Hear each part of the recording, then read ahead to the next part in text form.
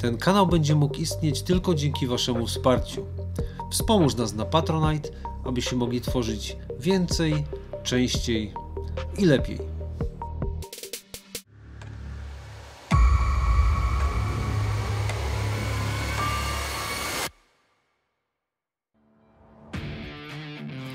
Zaskakuje nas zawsze w najmniej oczekiwanym momencie. Mrugająca lampa Alladyna. A zgodnie ze starą zasadą, przecież kto nie smaruje, ten nie jedzie. Oczywiście najlepszym źródłem wiedzy o olejach motocyklowych są grupy na social mediach. Tam każdy jest po chemii organicznej ze specjalizacją oleje silnikowe. Po przeczytaniu setek fachowych rad, dyskusja naturalnie przeobraża się w intensywną gównoburzę. A ty dostajesz prywatne wiadomości, że wiedzą gdzie mieszkasz i spalą ci dom, bo pozwoliłeś sobie mieć inne zdanie. Ostatecznie zdajesz sobie sprawę, że wiesz mniej niż wiedziałeś. I tutaj przychodzi bez pomocy. Inturai TV, Majzel Mariano. Jesteśmy dzisiaj w bardzo ciekawym miejscu. I będziemy mieć ciekawą rozmowę z Bogdanem Ptakiem, dyrektorem. Dyrektorem działu menedżerów produktów motoryzacyjnych. Jesteśmy w parku technologicznym, w laboratorium bardzo istotnym, ponieważ w tym laboratorium, laboratorium, tym laboratorium, powiedziałeś tutaj wcześniej, badacie olej zużyty.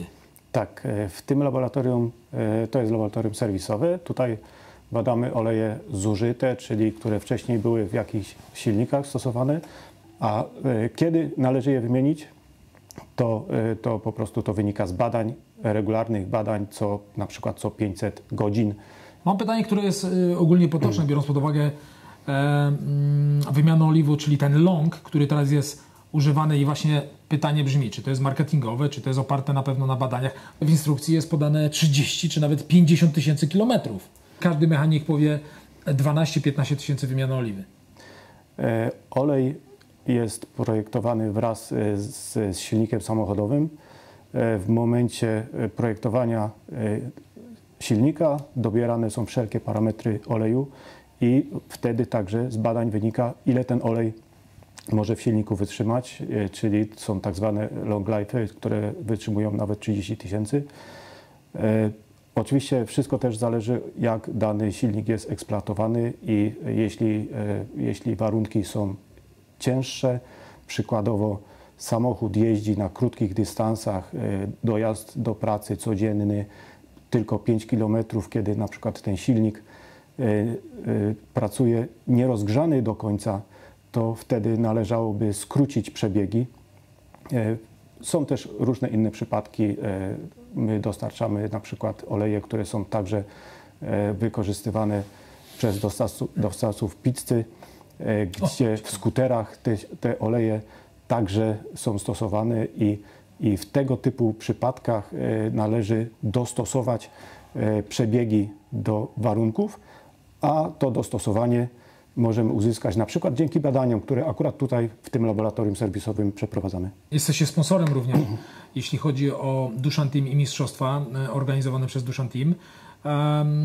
Co jest takiego istotnego, no bo podejrzewam, że macie wiedzę na bazie waszych badań, że te silniki bardzo są wysoko kręcone, tak. temperatury różne, no i biorąc pod uwagę endurance, które, które trwają godziny albo naście godzin, co powinien mieć wasz olej, jaki ma wpływ wasz olej na, na to, żeby nic się nie wydarzyło dziwnego podczas tych wyścigów? Do każdych warunków dopasowujemy specjalny olej, który właśnie spełnia warunki wytrzymałościowo i wymieniłeś tutaj akurat endurance, gdzie są po pierwsze ciężkie warunki pracy, silnik pracuje z pełną mocą. Druga rzecz to jest kwestia, że to jest długodystansowy wyścig.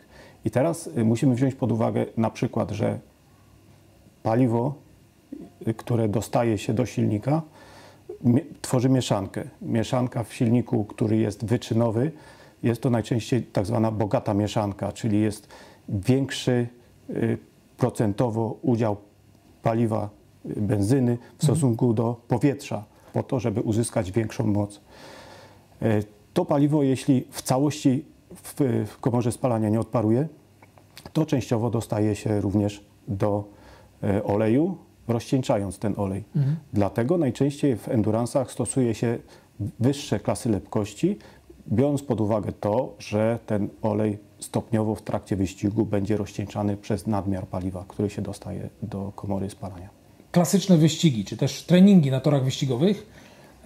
Jakie są Wasze zalecenia? Co ile olej y, wymienić? Oczywiście można to przerzucać na, na, na mm, e, liczenie tego w kilometrach, ale można też na motogodziny. Y, Jakie są, jakie są Wasze rekomendacje? Tutaj e, ze strony producenta ciężko jest podać takie rekomendacje. E, Można co, co zawody, można co. To zależy od wyścigów. E, Zespoły, najczęściej zespoły wyczynowe, zespoły, z którymi współpracujemy, sami sobie dobierają te godziny i, e, i, i wymieniają to według swoich mechaników, tunerów, e, bo również Silcolene dostarcza do czołowych zespołów, na przykład British Superbike albo do innych zespołów. E, Zresztą w, w internecie można troszkę takich zespołów sponsorowanych przez nas, gdzie dostarczamy e, produkty znaleźć. E, Nawet są zespoły, które nawet sponsorowane przez kogoś innego i tak jeżdżą na naszych olejach, więc to też mogę się pochwalić. Natomiast, natomiast rekomendacje to mogę przekazać raczej takim kolegom, którzy startują na torach amatorsko w takich zespołach, może nie zespołach, albo nawet indywidualnie, e, którzy jeżdżą sobie wynajmując tor zamiast e, jeżdżąc na ulicy. E, Ale e, e, profesjonalne zespoły wyczynowe jednak każdy ma swoje zalecenia, e, nawet e, te swoje zalecenia, e, swoje tajniki e, zachowuje dla siebie. No tak. Więc tak, tak to właśnie wygląda, że, że, to, że te wyczynowe zespoły, oni, oni sami wiedzą najlepiej, jak to jest. My zresztą również mamy oleje, które mamy do, typowo przeznaczone do sportu. E, Mamy lepkości, te właśnie wyższe lepkości 10W50, ale także mamy 5W40. Akurat e, to jest ten olej, który dzisiaj tutaj wręczyłem jako nagrody. To 5W40 to jest olej, który właśnie do tego typu wyścigów, e, no nie, nie endurance'owe, tylko zwykłe, Tak, krótkie tak. wyścigi, jest najlepszy. Ale również e, mamy na przykład e, klasy lepkości, e, które mają niższe, a przez to stawiają mniejszy opór i przez to zyskujemy moc, czyli 0W20 mamy nawet. Ten, to jest olej, którego nie sprzedajemy normalnie w, w, tak jakby na rynku. Jest to olej stricte dedykowany dla wyczynowych zespołów, na przykład MotoGP. O, w jednych, dwóch zdaniach, mm, e, mówiąc do kierowców, do zespołów mm, e, wyścigowych, e, mm, co byś im przekazał generalnie, na, na co powinni zwracać uwagę? No na pewno zawsze musimy wiedzieć, że producent motocykla czy producent samochodu w trakcie projektowania już silnika dobiera olej ze wszystkimi konsekwencjami tego. Dokładnie to widać też w olejach samochodowych, gdzie, gdzie producenci, na przykład czy to Volkswagen, czy Mercedes, czy inni, mają swoje normy precyzyjnie dostosowane pod dany silnik. Okej. Nawet już nie pod jakąś markę czy, czy Jasne. rodzaj, tylko pod dany silnik mają dostosowane e, normy fabryczne e, i e, wtedy dany producent opierając się na normach międzynarodowych, na przykład czy to jest API, czy to jest ACA, czy to jest JASO, e, sam jeszcze bardziej precyzuje wymagania, a te wymagania na przykład e, wynikają z tego, jak jest zrobiony e, rozrząd, jak jest zrobiony jakieś tam inne elementy, czy jest natrysk oleju na tłok po, po to, żeby chłodzić ten tłok. No, bardzo dużo, czy, czy są popychacze hydrauliczne. Te wszystkie parametry, oczywiście obecnie są też normy czystości spalin, które mają też swoje wymagania, czy mamy katalizator, czy w silnikach diesla mamy e, filtry DPF. To wszystko, te poszczególne elementy, to są składowe elementy, które wpływają na olej. Czy to musi być olej niskopopiołowy, czy wysokopopiołowy. E, Wysokopopiołowy e, może mieć różne też własności smarne, więcej może siarki zawierać, czy to, to wpływa znowu na, na właśnie na ten popiół. E, To są oleje low subs, mid subs i tak dalej. Więc te wszystkie elementy to są składowe elementy, które wpływają na olej, a biorą się z konstrukcji, biorą się z konstrukcji silnika. W olejach motocyklowych mamy znowu normy JASO, na przykład JASO MA2 to jest norma, e, która e, też precyzuje warunki, jakie musi spełnić olej, gdzie w silniku mamy mokre sprzęgło. I tutaj jest kwestia właśnie tego mokrego sprzęgła, żeby, żeby dobrze było przekazywane, dobrze była przekazywana moc na skrzynię biegów. Z tego też wynika, że, że też oleje samochodowe nie mogą być w motocyklach stosowane właśnie ze względu na mokre sprzęgło, ale w drugą stronę mogą. To znaczy, że olej motocyklowy w samochodzie może być okay. zastosowany, natomiast olej samochodowy w motocyklu z mokrym sprzęgłem nie.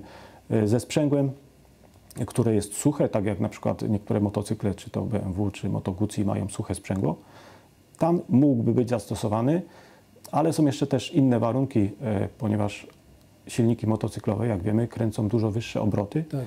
i oleje motocyklowe są, jakby to tak powiedzieć, e, troszkę mocniejsze ze względu na te e, wysokie obroty silnika, muszą być bardziej odporne na ścinanie. Więc, więc tutaj jest kwestia też wiskozatorów i, i, troszkę innego składu tego oleju motocyklowego. Natomiast, natomiast tak to jest, że olej motocyklowy w samochodzie mógłby być zastosowany. Czyli uwaga na dolewki. E, jeśli ktoś ma niski poziom oleju, żeby zwrócił uwagę, że nawet jeśli nie ma wtedy pod ręką odpowiedniego oleju, okay. To e, jeśli dolejemy oleju samochodowego, tam powiedzmy 5%, to lepiej jest dolać niż jechać na zbyt niskim oleju. Tak. Mhm. E, niski poziom oleju może być dla silnika groźniejszy niż ta dolewka 5% okay. innego oleju. Okay. To, to jest ważne. Oczywiście najlepiej jest dolać ten sam olej lub olej motocyklowy podobny. No bo kiedyś się mówiło, że olej się zważy. Dolejesz inny olej, on się zważy. To jest kwestia y, taka, że, że bazy olejowe można mieszać, bo każdy olej i tak jest mieszaniną różnych baz olejowych. To nie, to nie jest tak, że z jednej, jednego rodzaju, jednorodnej bazy olejowej się robi oleje, bo mhm. to, to są receptury troszkę bardziej skomplikowane.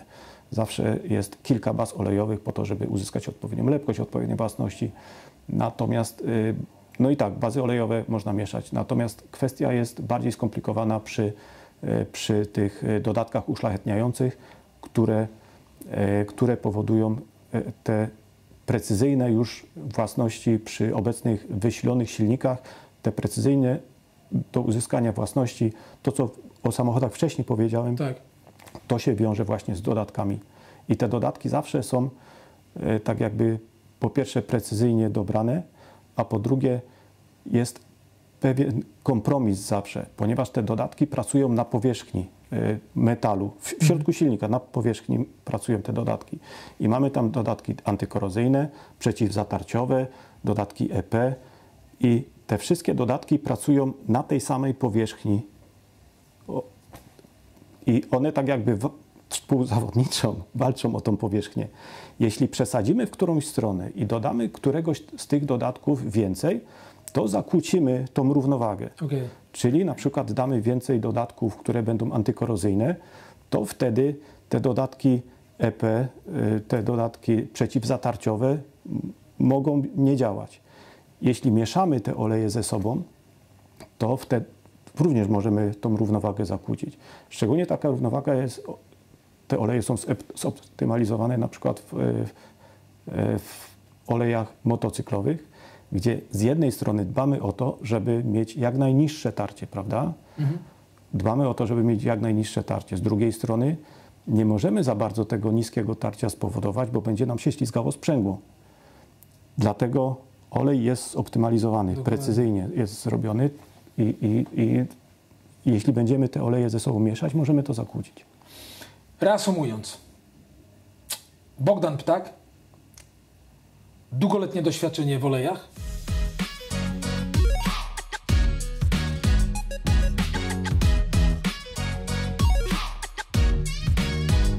Czyli świadomość nasza polega na tym, że spokojnie możemy być spokojni, używając olei.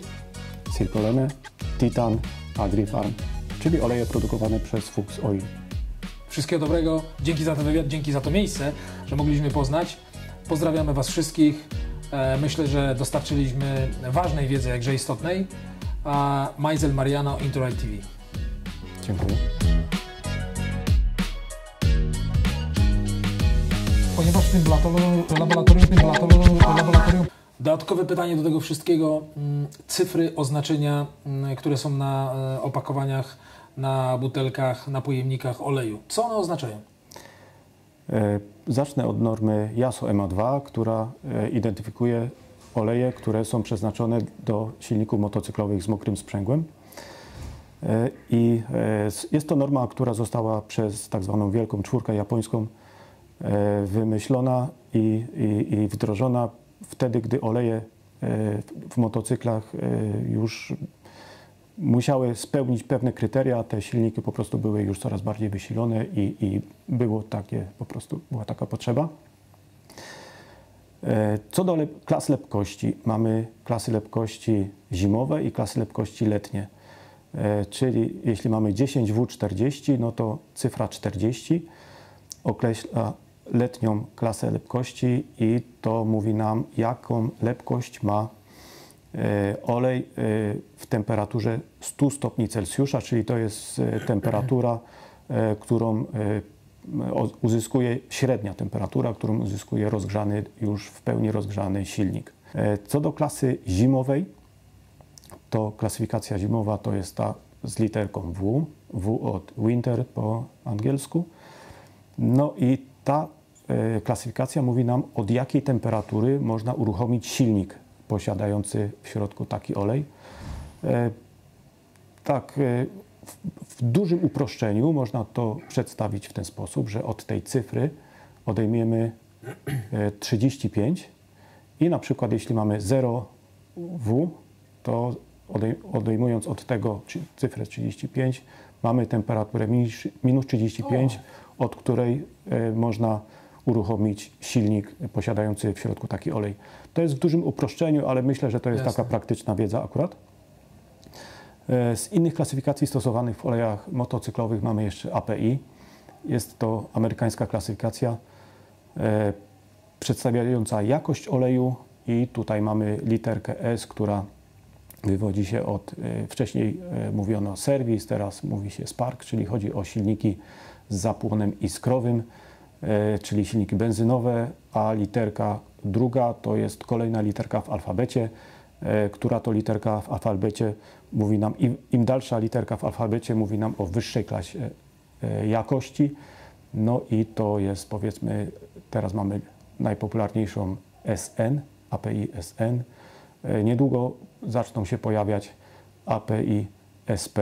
Już e, zostały tak jakby e, te, te oleje wdrożone w samochodach, również będą wdrożone także w motocyklach e, stopniowo, e, więc to tak w uproszczeniu te trzy klasyfikacje spotykamy, spotykamy w, moto, w olejach motocyklowych. Bardzo dziękuję. Cenne informacje dla nas wszystkich.